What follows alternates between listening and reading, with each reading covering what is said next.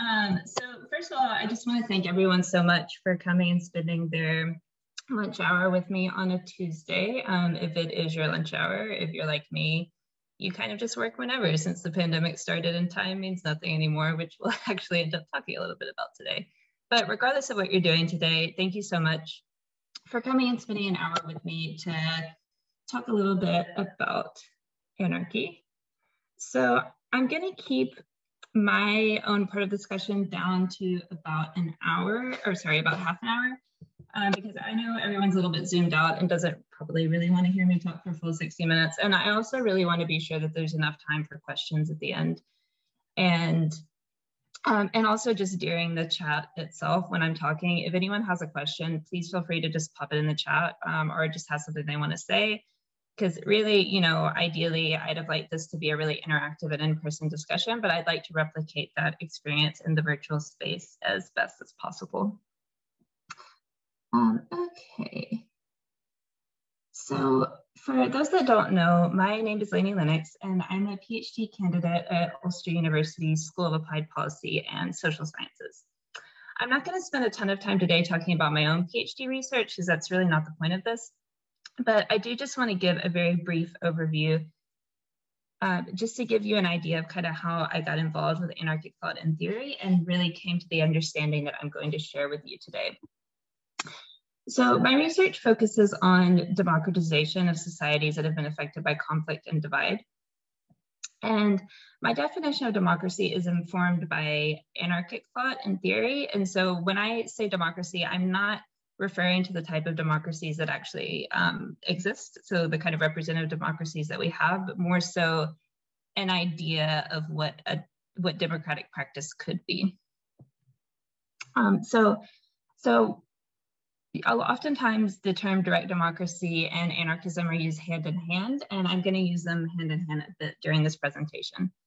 Um, so in my research, I think about direct democratic practice as something that can be built and applied um, in a grassroots, community centric, or bottom up way, rather than thinking of democratic practice as something that happens solely within within uh, political structures and top down governmental pro processes. So, really, during the course of this discussion, I want us to think imaginatively about about democracy um, and how we can think of it as something that can happen more in our everyday lives and not just within political structures. Um, so when I talk about anarchy, I am talking about this sense of direct, demo, uh, direct democracy and sort of direct democratic action, which is something I'll explain in a little bit more detail later in the presentation. Um, I know not everyone here may be familiar with what anarchy is as a political ideology, so I just want to give a very brief and simplified definition to be sure that we're all on the same page going forward. So at the heart of anarchist um, ideology and theory is this belief in decentralizing power um, and distributing power sort of even evenly amongst people that make up communities or societies so that everyone has an equal say an equal way to participate within the structures that are meaningfully influencing their lives. And i'm i'm specifically avoiding the word state in this definition and using words community and societies because anarchist theory does um, does try to think about how communities and societies can be structured outside of the state structures that we uh, that we know today. So, an easy way to think about about decentralization is to just kind of think of what uh, traditional monarchy is, um, and kind of think of decentralized power and anarchy as the opposite of that. So, in a monarchy, the king and queen, you know, just in a traditional monarchy, are the heads of state, and they hold the power um, centrally. So they are the central decision makers so essentially anarchy is just kind of the opposite of that, creating opportunity for community decisions to be made via consensus groups and shared action. So today I want to talk a bit about how, um, how this understanding has started to inform my life in a more personal way, um, related to my habits and how I conduct my life just in, in a day-to-day -day way. So the photo that I used to promote this event and the one that you can see on the title card there um, it's a photo that I took while doing my fieldwork in Germany of a sign that says the future was better in the present. it's a photo I've reflected on a lot over the past year. Um, my fieldwork focused on German memorial culture and understanding how engaging with the past um, within a nonlinear understanding can help us build more inclusive futures by providing a framework for reflection and for considering how the events and structures of the past inform our present realities, and that's how we imagine and make decisions regarding the future. Um, so, you know, at the time I took the photo, I was just taking it because it kind of reminded me generally of the sense of nonlinear and deconstructed approach to time. Um, and I took the photo like in February of 2020, right before our sense, um, our collective sense of the future changed drastically. And, you know, over the course of this past year, in which the kind of futures that we planned for were essentially Rob, sorry, I'm just seeing um, Sarah, oh, sorry, she said that right. She's telling me that, it, can everyone see the, see me okay? I'm not sharing the PowerPoint yet. So if you can't see the presentation, that's that's okay. Okay, okay, just double checking. Um, yeah, so anyway, what I was saying is that I've come to view this photo in a really different way over the course of the past year, just in the context of how we've had to really start to drastically think differently about our futures. Um, so now I think of this phrase, the future is better in the present, as meaning that we move into a better version of our futures um, not when we think of the future as a faraway plan, but when we kind of think of it as hope itself and as the societies and communities we imagine wanting um, that we can kind of begin to live out through our actions we decide to take daily. The unexpected sense of space and slowness that opened up in my life during the first lockdown allowed me to reconsider my future and to meaningfully think about the future I wanted and to embody that um, within my daily life. Um, so what I mean by this is I want to be able to imagine the type of future that I wanted and to act in my daily life in a way that was in accordance with that hope for future. And I know I'm throwing a lot at you, but we're going to go into that a bit more later. Um, so I'm going to go ahead now and start. If you'll just bear with me a moment, sharing the presentation. Um, sorry, when I had to restart my computer earlier, um, things got kind of lost in the mix. Um, sorry about this. Um, well, I'll go ahead and explain why I'm pulling this up. Um, has anyone here used Mentimeter before? It's a tool for just engaging virtually um, in an anonymous way. If people in the chat can just let me know if they've used it before, if it's something that they're familiar with. Um, Okay, so it looks like a few people have and a few people haven't. So basically what Mentimeter is, is a way for you to, okay, can everyone see that? Okay. Okay, so there we go. So Mentimeter is a way for you to engage anonymously um, via um, via an online tool. So basically, I'm going to ask you to, um, once this loads, can everyone see the, the presentation okay?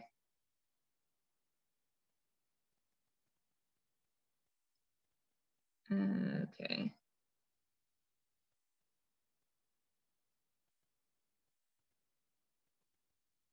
Okay, sorry, this is taking a second. Um, but basically what Mentimeter is, is you're gonna have to go to mentimeter.com and then, or just menti.com. Oh, this is, hold on, sorry. Oh, just full of issues today. Um, really sorry. I'm just realizing this is a practice version of the presentation. Um, but basically, I, I'm going to get you to to um, tell me a word or like a phrase that you think of when you hear the word anarchy. Um, when I first planned this talk, I intended um, to just kind of launch directly into hopefully an interactive discussion about um, about anarchism, but it it's sort of when I was watching the um, the coverage of the the January 6th insurrection um, at Capitol Hill and the way that the word anarchy was used, it kind of occurred to me that people might have um, some different associations with the word. And I just kind of want to get a gauge on where everyone is at um, because, you know, I don't know who else in the audience. There may be people here that do consider themselves anarchists and are very familiar with anarchist ideas. There may be people that are familiar with anarchist ideas um, but don't consider themselves anarchists. There may be people that um, that kind of have heard the word, but may even be a little bit wary of it. So I just wanted to give a chance for everyone once this loads to, um, okay, I don't know why it's doing this. Sorry. I, um, okay. You know what we're gonna do instead is why I don't, instead of using Menti because it's, uh, it is not wanting to cooperate. Why don't people just in the chat, um, let, just give me like a word or a phrase that that you think of whenever you hear the word anarchy. Um, sorry, now I'm, okay. Um, yeah, if people just in the chat, okay, so I'm getting solidarity, self-organization, collective, mutual aid, mutual aid and freedom, um, distributed democracy, opposition, uh, stateless. Okay, cool. Cool. Uh, real democracy. Yeah, cool. So if people, again, the um, if we were able to use Menti, I was going to um, I was going to have people do this anonymously. So I apologize that that doesn't really seem to be possible today because I did want people to feel free if they did have negative associations with the word to um, to share that. But um, but yeah, so I appreciate everyone um, everyone doing that. I just kind of wanted to get a sense of where everyone was coming from with the with the term itself and kind of with ideas around around anarchy. Um, so you know, as I mentioned, I decided to add that part of the presentation. And after seeing the word anarchy, um, how it was being used in the coverage of the January 6th insurrection at the US Capitol. Um, so to show you what I mean, I just pulled a few examples of headlines from, from that day. So from New York Magazine, there was a photo series titled A Day of Anarchy at the Capitol. Um, from the Telegraph, Carnage and Anarchy, How Donald Trump Sparked America's Day of Shame. Um, and then finally for the Washington Post, um, a day of ceremony descends into anarchy at Capitol Hill. So each of these, each of these, um, these headlines appeared within a day of, of the insurrection. And if you take nothing else away from today, I just hope that that this presentation kind of gives you a different understanding of anarchy and that if if you see anarchy kind of being used as this way that you would at least be critical of it and maybe um, challenge how it's being used because really when it's used in headlines like this, it's just kind of synonymous with, um, you know, it's kind of just a colloquial use of the word to mean like violent chaos. Um, and this really felt especially egregious to me in the coverage of the um, the Capitol Hill insurrection by the alt-right, because especially considering how anarchy and anarchists have been vilified by the far right. Um, you know, Donald Trump in the midst of the BLM protests of 2020, um, even at one point suggesting having Antifa, Antifa labeled as a terrorist organization. And it's worth pointing out that Antifa is not an organization. It's just a word that's been used in anarchist circles for quite some time. Um, you know, as well as the vilification of kind of different anarchic action that occurred during the Black Lives Matter protests of the summer of 2020. Um, so, you know, seeing coverage like this, it it really seems that anarchists and anarchy are destined to remain um, a bogeyman for those that fear shifts in power and a change in the status quo. I hope today that I can offer a perspective on anarchic practice that is not discussed as much, um, which is kind of the, um, sorry, does not discuss as much, which is just kind of the small everyday actions and the small but significant acts of community building that can both cause um, and create important change and instill hope so you know without at all belittling the the focus on and um, the focus and importance of, pro of protest and louder anarchic action, um, I'd like to focus on and consider an embodied form of commitment to anarchy in everyday life and our daily lived experience. Um, so, you know, without negating the harm that this kind of like uh, fear or this idea of anarchy as boogeyman causes, I suggest a presentation of anarchic practice for both the skeptical and committed but overwhelmed, one that focuses on considering the importance of daily lives and habits and feeling empowered to meaningfully change the status quo through a rejection of traditional linear thinking and progress um, and a practiced and intentional slowness. So by imagining the futures we wish to see beginning to live our daily lives as if they already exist, we begin to meaningfully challenge existing structures and live more empowered, liberated lives. Um, okay. So now I can kind of get back to the presentation itself. Sorry that there's been so many kind of different technical issues today. Uh, so to attach a visual to this kind of nonlinear consideration of the past, present, and future, I've included another photo from my time in Germany. Uh, this photo was a temporary exhibit set up as part of the 30th Mauerfall Festival, which celebrated the 30th anniversary of the opening of the Berlin Wall. So um, I think it's just a really interesting visual for talking about this kind of nonlinear approach to time because it looks like a traditional, a traditional timeline, but it's actually a map of the U5 subway line in Berlin. Um, and you know, which each dot is, is a stop along the line. So you can kind of see the Reichstag is the first stop there um, and so on. And surrounding each of the stops are descriptions and photos of different different historical events from Berlin's past that are related to, to that place, that stop on the line.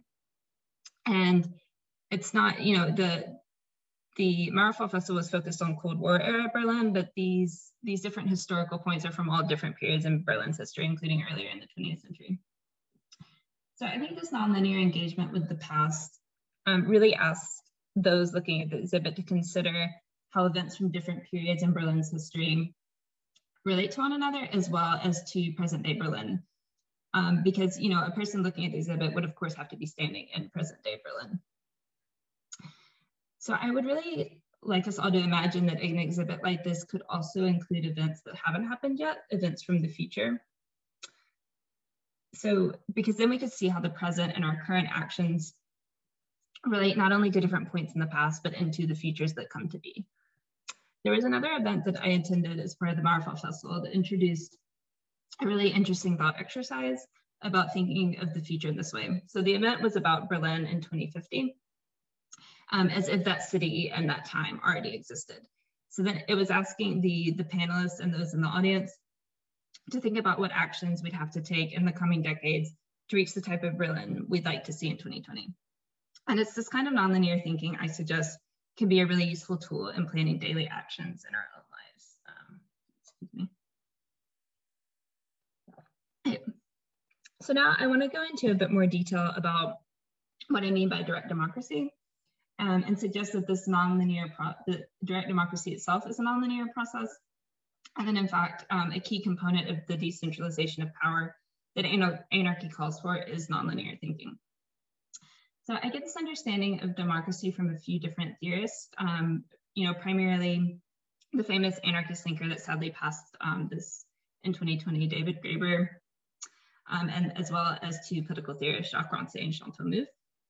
So Graeber has an approach to understanding direct democracy that's focused on uh, consensus building and making, making uh, decisions as a group.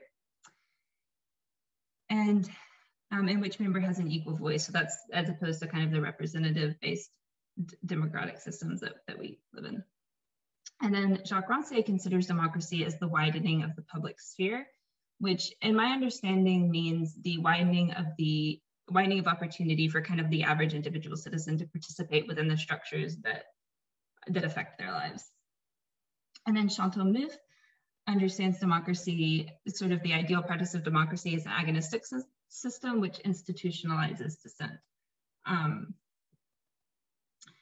so and the way Mouffe is thinking about it is sort of that democracy is this ongoing conversation about what our best possible societies could be. And that as soon as we close this conversation, the democratic process itself is over because participation closes. So in that way, it's inherently nonlinear because it's this ongoing process rather than um, some sort of linear process that's trying to seek some kind of a conclusion. And again, they're all talking about political structures, but I want to think about democratic action as it kind of applies just in our in our daily lives and actions and also in how we can do community action outside of political structures. So to explain this a bit more, I have a couple of graphs. Um, so this first graph is, I want to be clear, I'm not saying that this is how I think representative democracy, democracies work, but it's kind of, I think, how we envision like an ideal representative democracy. So, you know, that's the most common type of democracy where where we elect representatives to speak on our behalf in, in the voting process. So on the y-axis at the top, I have a smiley face that just is representing basically, you know, positive and good things happening in society. At the bottom of the y-axis is a frowning face just representing the opposite. And on the x-axis, I have a clock representing time, so just representing like the sense of linearity. And then the purple line is representative of the democratic process itself. And so you know, we tend to think of this this kind of like our elected representatives are speaking on our behalf and things are trucking along, you know, in this kind of linear and clean way towards a, a general a general societal good. So what I'm arguing for and what I'm talking about is a much more direct and participatory democratic process. And again, we don't need to think of this as just happening within governing structures. But as you can see, again, the y-axis is the same top, you know, hopefully we're still progressing in this general good direction. And but then on the x-axis, I've replaced the the stopwatch with a feedback loop just to represent represent an ongoing process. And then the purple line, once again, is representing the democratic process itself. And as you can see, it's much messier, but I'm arguing that it needs to have this kind of nuance and fluidity to be more inclusive and participatory. Okay. So when direct democracy and democratic action is discussed, it tends to be done in overarching terms that I think can seem overwhelming or detached from our lives as individuals. It can seem like democracy is kind of something that we live within and something that happens to us and that we kind of in a very um, you know structured and, and uh, like kind of inconsistent way participate in in small ways um, and that it has very little meaning in our daily lives. So although I had considered myself an anarchist for a few years at the start of the pandemic, this had never had any meaningful implication in my day-to-day life um, because I spent a lot of time thinking and writing about anarchism academically without seriously considering what this means for me in terms of action. Um, you know, actions I took in my day-to-day life in large and small ways. So, you know, how I bought my food, conversations I had with people, um, et cetera. The sudden slowness that I experienced in the early days of the pandemic um, which in many ways was the inability to act, at least in the ways that I had before, suddenly allowed me the space to reflect on my own ideology and how I can make this a more meaningful part of my life. So, a really important aspect of this reflection was the pause and the expectation to produce that existed in the early days of the pandemic, of course, for those that were non essential workers. Um, you know, unfortunately, this leniency um, and ex- around expectation of production about a year into the pandemic um, is not there in the same way, but that's perhaps a discussion for another day. Um, but this pause made me realize that I was so focused on the production of anarchist ideas within my own work and my own academic research that I hadn't really given myself the space to consider um, to consider how they could be applied in my own life. Um, so this idea led me to consideration of Paolo Virno's idea of engaged withdrawal, which is just kind of this idea that deciding to remove ourselves and as far as we can from the structures that that we don't agree with is is an act of action in itself, even if it sort of feels like inaction. Um, so it this allowed me to think not only of action of is that which I do, but that slowing down in and of itself to take time to participate um, in community gardens or to spend more time walking to local shops or spend more time going to, to no waste shops rather than, you know, what I had usually done, which was buying um, buying big supermarket shops and getting them delivered was important was as important of a political act as something like organizing or participating in a protest. Um, again, not belittling those actions at all, but just that these are small daily actions that we can take. So Paolo Virno also said that, um, quote, nothing appears as enigmatic today as what it means to act, end quote. Thinking about how we might act and how we might meaningfully live according to our values, um, whatever those might be, is of course an ongoing process that's often riddled with, with confusion and lack of clarity. What I'm hoping to offer today is kind of a sense of bite-sized anarchism and to suggest that there's an immense power in considering how we can apply democratic ideals outside of political structures and in our own daily lives. And, you know, in, and also to offer something perhaps for those that are skeptical of the philosophy or political ideology as a whole, but they can find something that resonates with them in the smaller consideration of anarchic practice. One that encompasses small participation in mutual aid projects, for example, or, you know, growing your own vegetables, which I kind of have included um, a picture of myself attempting to do.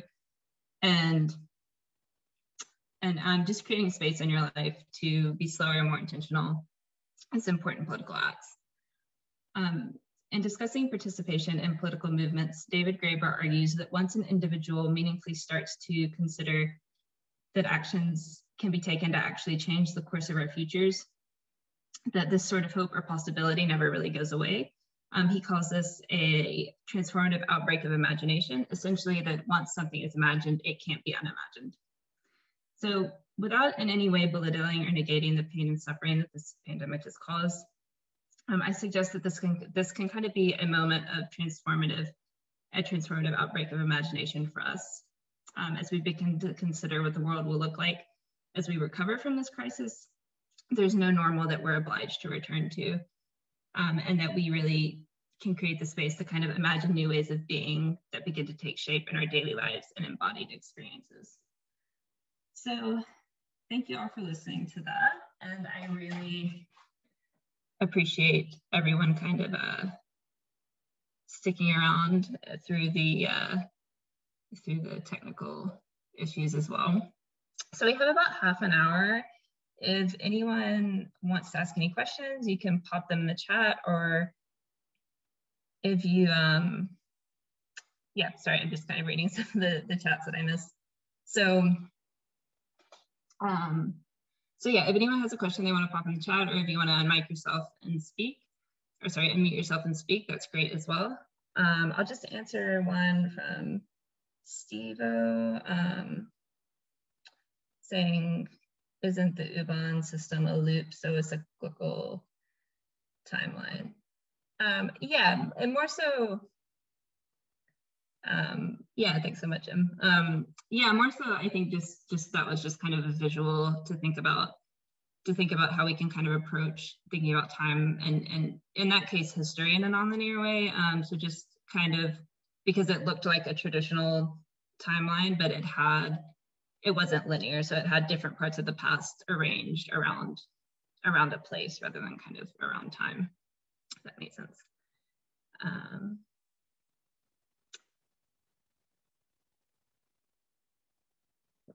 let's see, did you have something like ancient Greece in mind when talking about direct democracy?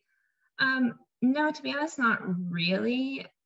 It's it's something ancient Greece and some of the political theory that I read does does come up, but it's more so when I'm talking about direct democracy, I'm more so just thinking about something that doesn't exist um, on a large scale yet, if that makes sense. So something that would be, you know, kind of radically inclusive, much much more so than um, than what ancient ancient Greece had. Um, what literature would you recommend on direct democracy, and what other practices could be implemented in our daily lives? Sure. So I don't know how familiar everyone is with David Graeber. I can even maybe just put his name in the chat. I would really recommend any anything by him, and he did he did sadly pass um, this last year, but I I find him really accessible and sorry, just putting his name in the chat. Really accessible and easy to read. It's not too. It, he is a theorist, but it's not it's not kind of too academic sounding, which I think none of, no one really really appreciates. Um, yeah, so David, there's there's tons by David Graeber. Um, a really short one is Fragments of an Anarchist Anthropology, which is is about anthropology, but it, he does talk about democracy in there as well. It looks like a, a few other people are are making recommendations as well.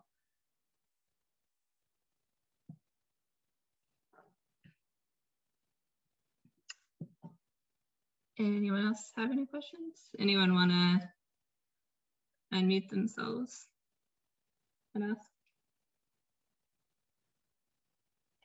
Laney, what's your view of the fact that that uh, you know many people uh, are so split and and that political parties are divisive, so it creates splits in society where you don't have uh, everyone gathering around one one focal point or one aim or whatever. Hmm. Oh, so just just my view on kind of fragmentation in political parties. Yeah. Is that um well by caused by political parties. Right, right. Because they each have different views. Right. Um yeah, so I think, you know, I think that's why I kind of wanted to be, to really emphasize that when I'm talking about direct democratic action and kind of the potential it could have, that I think we, we really can think about that outside of the political systems that currently exist and outside of governmental structures, because I think there's a lot of power in community building and in thinking about how democ- how that's also an act of democracy and how democracy can function within those spaces so that we're not, you know, because I think it can feel very depressing and we can feel kind of beholden to the to the political systems that we have. But i do think there's potential to creatively think about democratic action outside of that. Um, so i hope that i hope that answered your question. I don't. Thank you. Thanks. Um, just have a couple more. Okay those aren't questions. Um, Are there any more questions? Um, oh, let's see. So from Catherine. Um, okay. Okay, so Catherine is asking, um, she said, if anyone is interested in bartering, I love how it takes us out of everyday capitalism, even in small ways every now and then. I trade my art and design. Does anyone here know of bartering groups projects? Does anyone? I, I personally don't. Um, although I did actually just download an app. This isn't exactly the same thing, but just download an app called Olio, which where people um, get rid of things that they're not using anymore for free. It's not bartering, but um, but anyway, it's a it's an app where people get rid of food and other things they're not using for free.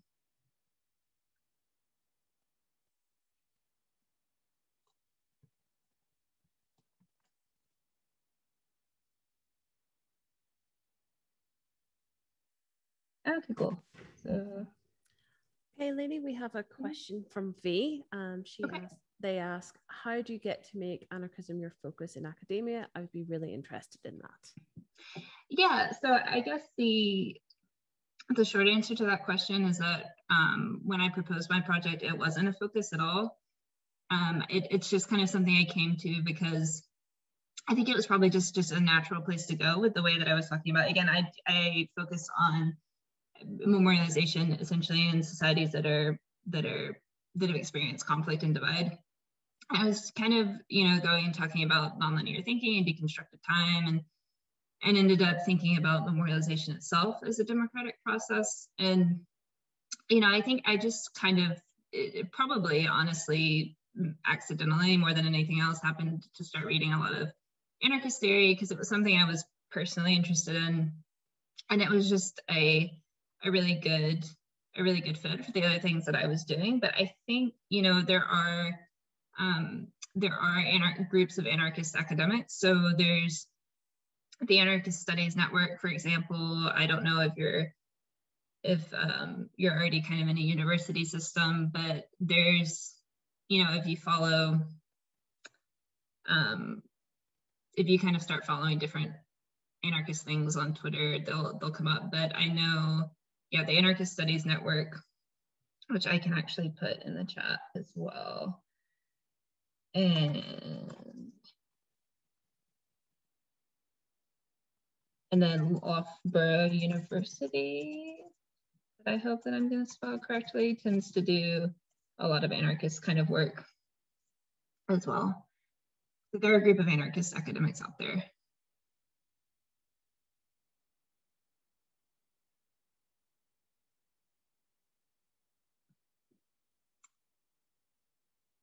Are there any more questions?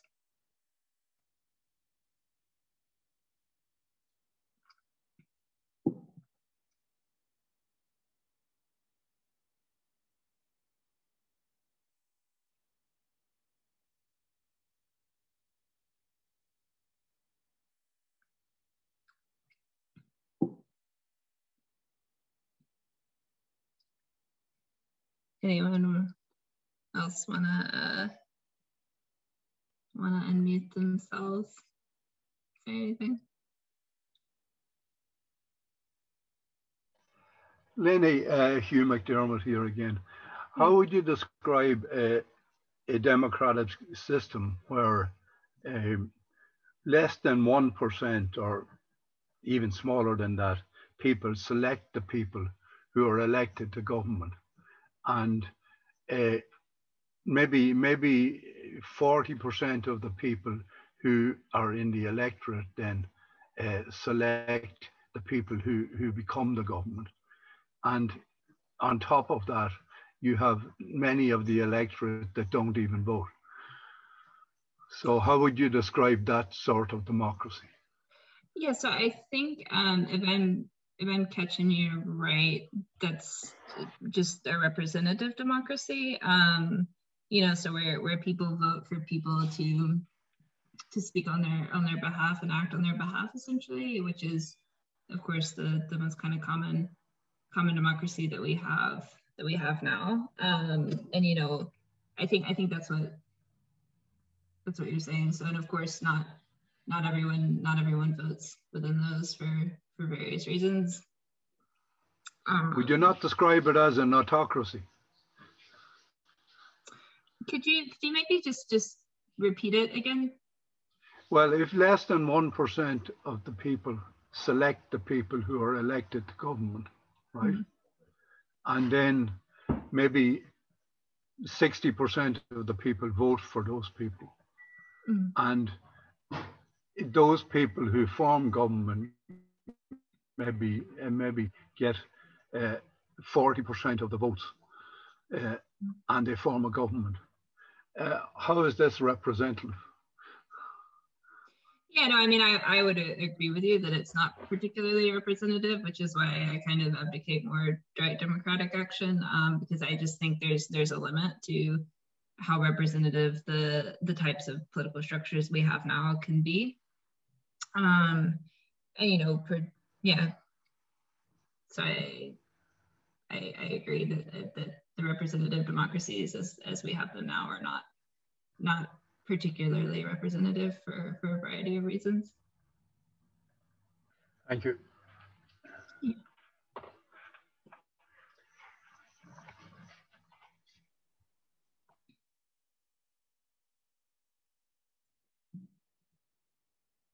see a lot of people in the chat talking about different kind of Skillshare things and bartering things. So that's it's really cool. It's cool to see.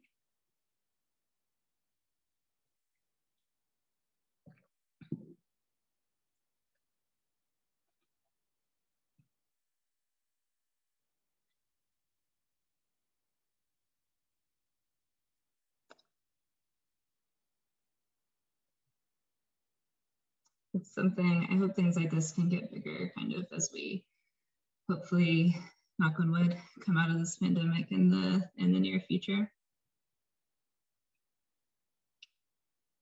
Okay, so I see a question from Matthew. How do we combat the bad PR we end up with as anarchist, um, anarcho-curious people?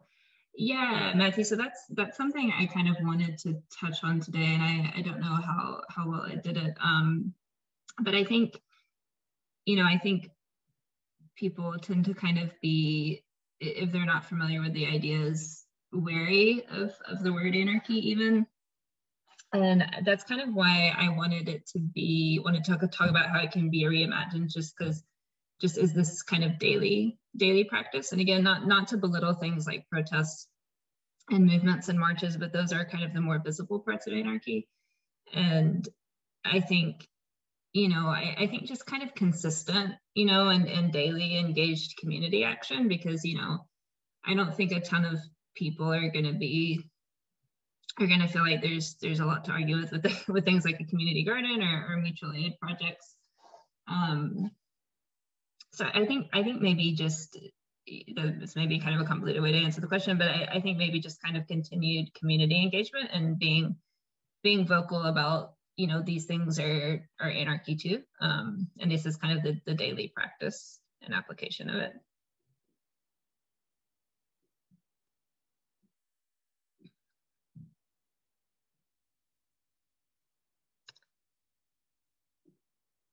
Yeah, so I see Siva says he came across anarchy as a as a punk buzzword, but there's a lot more to it. Yeah, and I, that's actually kind of something I wanted to mention as well because I think people often come across it in these very kind of specific contexts and specific circles, and you know maybe even have kind of there's like the stereotypical anarchist that's a punk and wears all black. I say as I am wearing all black, but um, but just kind of just kind of the sense that um that there is like a like a depth to it and and and maybe just if if we can find ways to, to talk about that more and to talk about the different things that kind of make different facets of it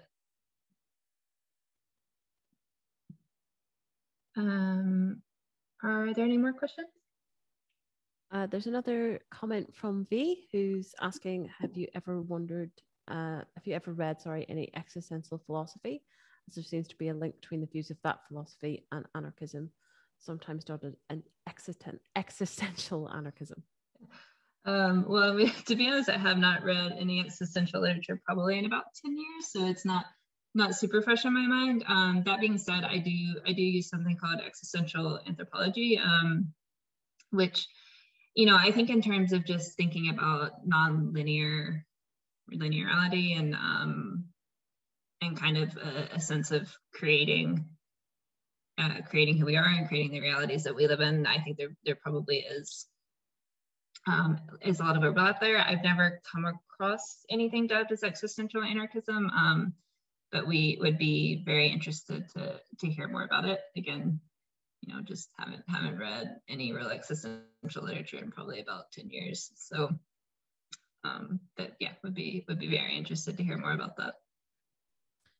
Got a couple of questions from Liz uh, who says, unfortunately, she missed the beginning, but have you uh, been speaking about people's assemblies? And in her ex- limited experience, they're a great way of involving everybody in decision making for activism and asks if there's any other comments related mm-hmm. to that.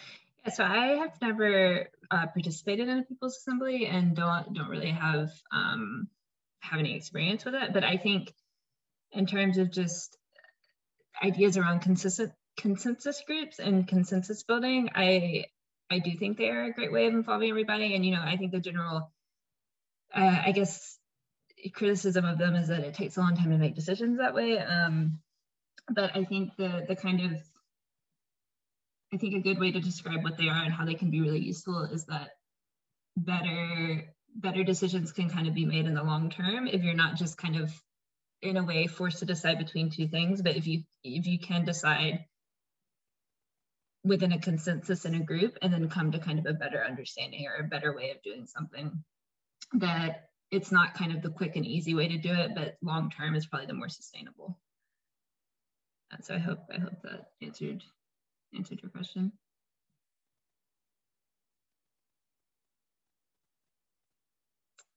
Uh, were there were there any more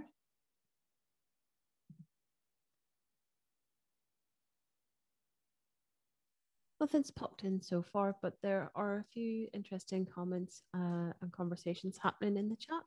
Okay. Um, so in response, Yvonne has said, in party politics, the party always comes first ahead of providing for the people. Party politics spends so much time on jockeying for positions, former cliques, and the, within the party, giving your mates plum rules, for example, and lobbying on behalf of already powerful companies, industries, etc. Recent PPE contract uh, revelations are a good example and an, of this awful waste of money. Um, yeah.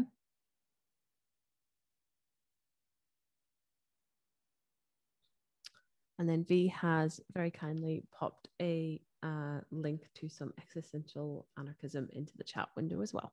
Uh, thanks very much, V. Thanks very much, V. Something that I'll definitely definitely spend some time looking into today.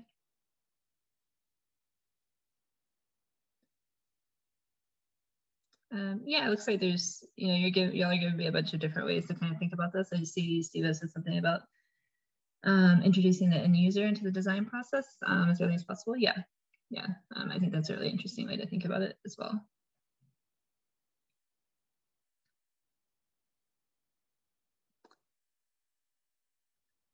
Got a question from Matthew.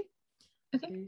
Uh, and forgive my pronunciations here, of have you looked into hauntology, uh, Derrida, or Fisher? Yeah, interestingly enough, Matthew, I think about a week ago, I just encountered that word for the first time in um, in a book called The Walker by Matthew Beaumont, and he was talking about. Um, oh, am I going to remember? He was talking about kind of the the space buildings take up in a city and whether place kind of has this um, like like if what a place was kind of uh, leaves a remnant or kind of has a sense of what the place becomes. So anyway, that's just to say I'm not that familiar with it, um, and I'd be interested to kind of know what what connections you're you're thinking about in terms of in terms of this talk. Um, Matthew, if you wanted to just put that in the chat, or if, if you wanted to say something about that. Yeah, it was just sort of the the idea of the hauntology sort of and I'm always bad at describing this, which is really bad because it's a section of my PhD. um, but it's the idea that images of the past haunt the future. So you're kind of hmm. compelled mm-hmm. by the ghosts of the past for a particular future, whether or not they may have actually wanted it. So the kind of the disjoint in time where you're being dragged into the future by something in the past mm-hmm. and that kind of thing. And I mean, sort of in a Northern Ireland Ireland case, there's books like Ghosts of the Somme by John Evershed that discusses and uh, Remembering and Forgetting 1916 by um, Rebecca Graff-McRae. So it's just sort of the the idea. I, am not really sure where it fits in. It's just the idea of the time element being committed into mm-hmm. it. It's always interesting. People involved in memory studies kind of always end up with these disjointed ideas of time because mm-hmm. the past is never about the past. It's always about the future or the now. So it's just sort of just throwing that uh, jumble of thoughts at you, I'm afraid. yeah, I um no, I think that's really interesting, and it does relate to relate to uh, more, I guess, more so my PhD work. But I but I think I think that's why I kind of got interested in. So as I said, I think earlier in the presentation, my my PhD work is really focused on how, just as you're saying, Matthew, like how the past informs the future and how as you're saying I, I kind of i like that that image of like a ghost or a haunting because i think that's why that's why I, I think it's so important to, to engage with the past. And of course and of course the past is a constructed thing as well and it reflects on our realities of our present. Um, but in i think the kind of different approach to time that that i kind of came to in the course of planning for this presentation and thinking about it was also really thinking about about the present. So I felt like I spent so much time thinking about how the past relates to the future that I wasn't thinking about as much about how kind of the present and the the daily lives that we live, which of course is also related to the past, um, affects the futures that we move into in a meaningful way as well. Um, and as you said, anyone that does memory studies stuff, I think ends up with this nonlinear time kind of strangeness. So, um, yeah, so thank you. That's something that I'll definitely look into more as well.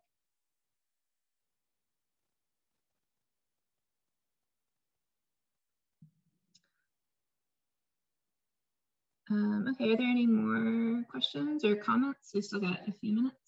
Yes, uh, so Stephen has written into the chat here. He said, I am excited about how marginalized groups, examples such as disabled people, could benefit from anarchist ideas, but how do we ensure that marginalized groups aren't simply spoken over within a direct democratic system? The current state does not have limited, unsatisfactory protections for various people. Can similar protections be guaranteed within a smaller scale direct democratic system?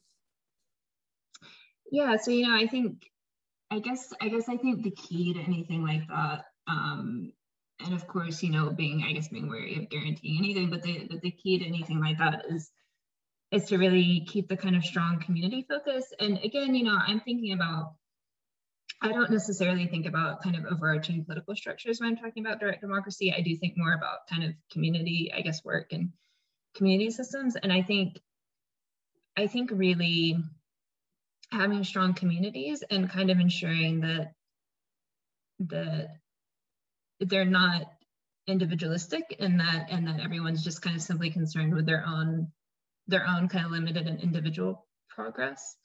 Um i think that's that's kind of how that's kind of what i mean when i'm talking about nonlinear democracy as well because it's kind of constantly engaging within the community and being tapped into the community's needs and being tapped into every everyone in the community's needs if if that makes sense. I hope that answered the question. Um, i know i didn't specifically speak about disabled people um, within that but kind of just the idea that that everyone in the community is is equally important and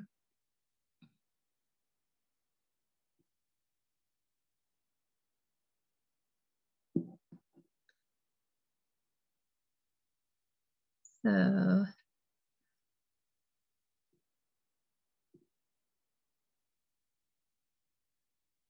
lots of interesting stuff going on in the chat. I'm um, just having a chance to look at. Uh, are there any more kind of comments and questions that within the last few minutes I can I can answer or speak to?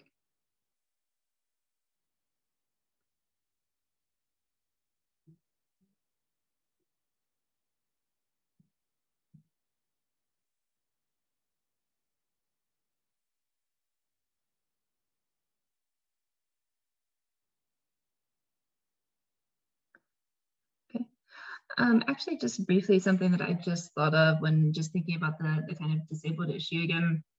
There is something called um, like a like a realm of theory called crip time, and it kind of focuses how restructuring the way we think of progress within people's lives uh, is kind of how disabled people have to approach have to approach time, and that that's kind of a process of of decentralizing power if we if we think differently about progress and about how people's lives progress in a, in a non-normative way. So that was just something I, I thought of in relation to that question.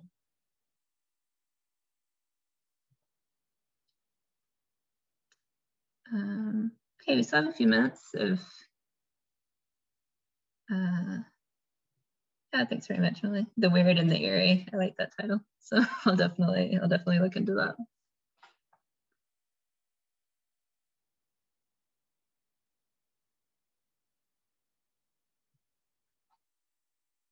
Any more questions or anyone wanna wanna unmute themselves and ask anything?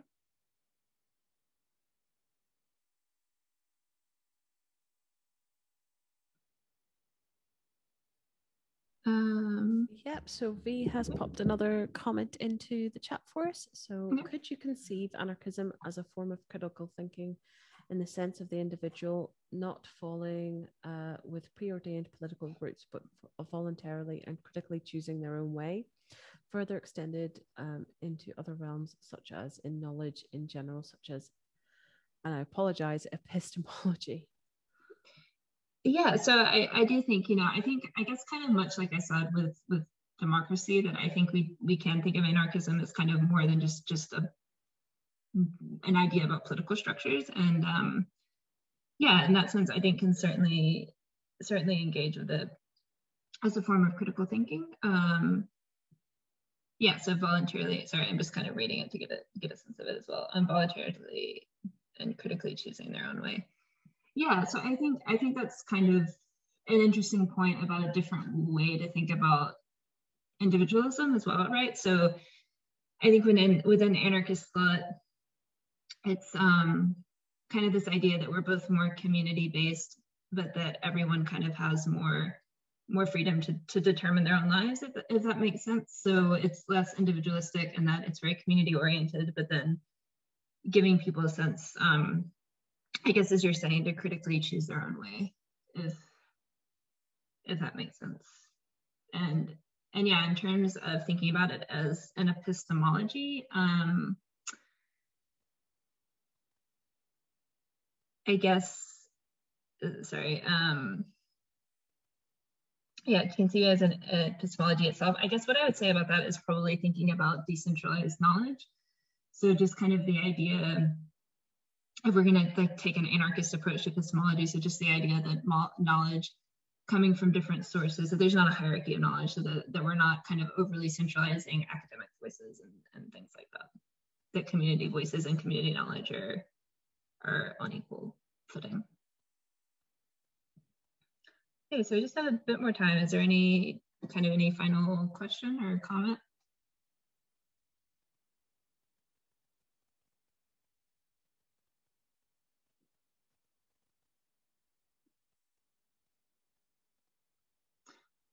Okay, well, um, thank you all for for joining me today again for taking an hour out on your on your Tuesday afternoon to to spend some time uh, talking about anarchy. And thank you for for making it such a really interesting kind of question and comment session as well. And I can see that there's a ton of different interesting conversations going on in the chat. Um, and I'll definitely follow up with some of the reading recommendations. I'm very much looking forward to that. So so if, if there aren't any more questions, just we'll say thank you very much once again to everyone. And uh, yeah, hope you enjoy the rest of your week and the rest of the Imagine Festival.